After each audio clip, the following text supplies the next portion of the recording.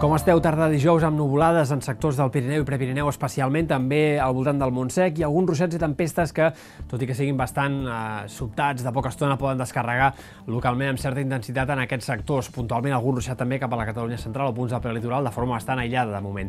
Els dies vinents continuaran sent de matins assolellats, però a les tardes les tempestes aniran a més, afectaran més comarques i seran més intenses, sobretot al Pirineu i Prepirineu altra vegada, però també en sectors de la Catalunya central. Divendres hi haurà algunes tronades localment intenses o també també igualment al voltant del Montsec. Divendres els ruixats, un cop formats, es desenvoluparan poc, per tant pot haver algunes tempestes que localment descarreguin molta aigua en poca estona. De cara a dissabte esperem un panorama bastant similar, matí amb sol i altre cop tarda amb ruixats i tempestes, amb la novetat potser que es començaran a acostar més cap a la costa, sobretot a les comarques de Girona, punts del prelitoral, fins i tot en punts de la Costa Brava i pot arribar algun ruixat desgastat de cara a última hora.